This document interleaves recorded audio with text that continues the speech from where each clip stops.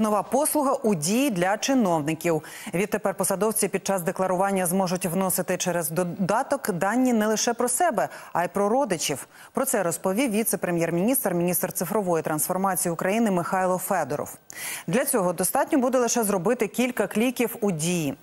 І детальніше про новацію розпитаю Сергія Ілясова, заступника керівника відділу управління проведення повних перевірок Нацагентства з питань запобігання корупції. Пане Сергію, я вас вітаю. Слава Україні! Героям слава доброго дня. Давайте так докладно. Перш за все, яка ціль нововведення і покроково як то робити? Ну, перше, ціль нововведення НАЗК – це спростити процедуру заповнення та подання суб'єктам декларування декларації, а також це уникнення допущення ними помилок при їх поданні.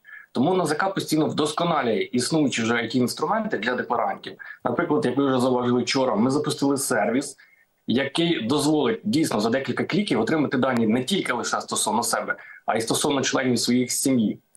Таким чином, НАЗК збере всю наявну інформацію в тих реєстрах чи базах даних, е, до яких ми маємо автоматизований доступ, та віддасть е, суб'єктам.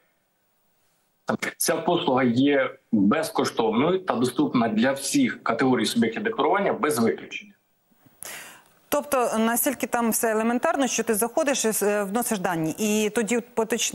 хочу поточнити дані про родичів. Це людина сама може внести, чи вона може отримати цю інформацію?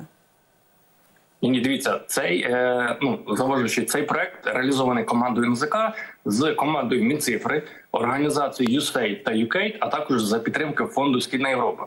Для того щоб отримати дані про членів сім'ї, декларанту необхідно зайти в свій особистий персональний кабінет. Хто ще цього не зробив? Нагадаємо, кампанія декларування триває до 1 квітня. Тому потрібно зареєструватися в особистому кабінеті в розділі дані для декларації, натиснути за відповідний період, а це 2023 рік, сформувати довідку, додати того члена сім'ї, відомості про якого підлягають відображенню декларації, заповнити його подат... Е, прізвище ім'я по батькові, податковий номер та направити повідомлення в дію. А які дані зараз обов'язково вносити в декларацію? Про що? Наразі обов'язково вносимо дані стосовно членів сім'ї, а також про їхні активи та відповідно їхні доходи. Всі доходи і всі активи, які вони е, мають. Так, так. Е, які е, правила от, е, цього доходу е, є окремо? Е, Те, що потрібно декларації. Так, відображенню декларації підлягають всі отримані доходи, як і суб'єктам декларування, так і членам його сім'ї. Е, без виключень. Наразі це до, до цього це потрібно було члену сім'ї витрачати значно більше часу, замовляти якісь довідки, користуватися іншими сервісами і витрачати е, час перед його заповненням. На сьогодні це можна зробити автоматизовано. Суб'єкт декларування отримає інформацію про активи свого члена сім'ї, про його доходи, і саме в тих обсягах, які необхідні для заповнення декларації. Тому е, для інших цілей використання цієї чутливої інформації буде просто неможливо. А спадщина, якісь окремі правила для публічних чиновників е, тепер це обов'язок теж декларувати.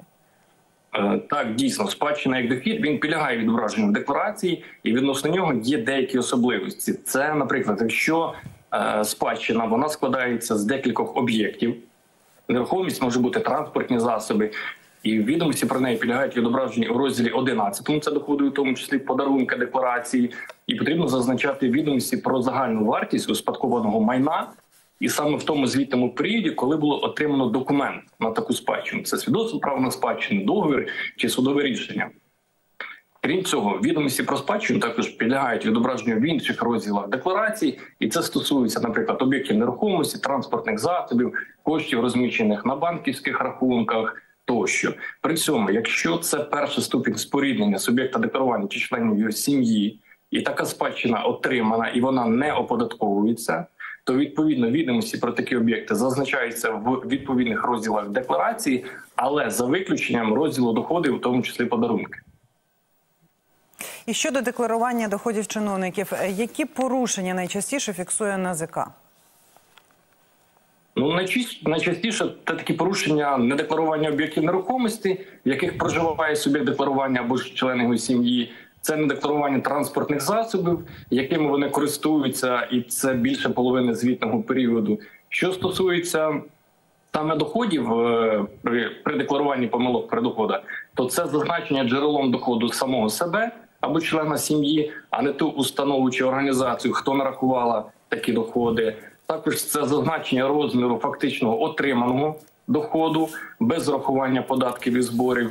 Ну і відповідно недекларування подарунків у негрошовій формі. Наприклад, якщо був подарований житловий будинок чи транспортний засіб, то відомості про такий дохід вони зазвичай забувають декларувати. Пане Сергію, дякую за ваш час і що провели його з нами в ефірі. І за ваші е, відповіді. Це був Сергій Ілясов, заступник керівника відділу управління проведення по- повних перевірок.